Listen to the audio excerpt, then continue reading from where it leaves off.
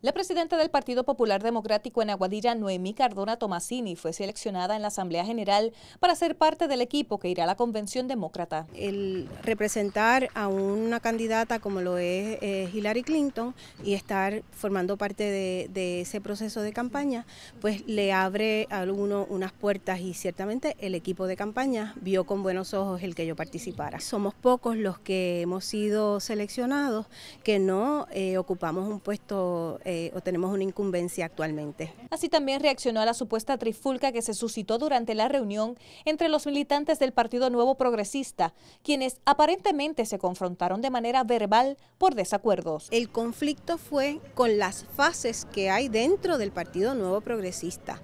Allí se presentó el doctor eh, Rosselló eh, con la intención de figurar en la papeleta él no había pasado por el proceso, otras personas también tenían interés de ser consideradas y se presentaron con un grupo de personas que no tenían eh, derecho al voto en esa asamblea. Aunque algunos relatos sobre lo sucedido incluían también agresiones físicas, Cardona al expresarse en torno a esto se mantuvo al margen. En el momento que yo viera, no, no participé de ninguna agresión física.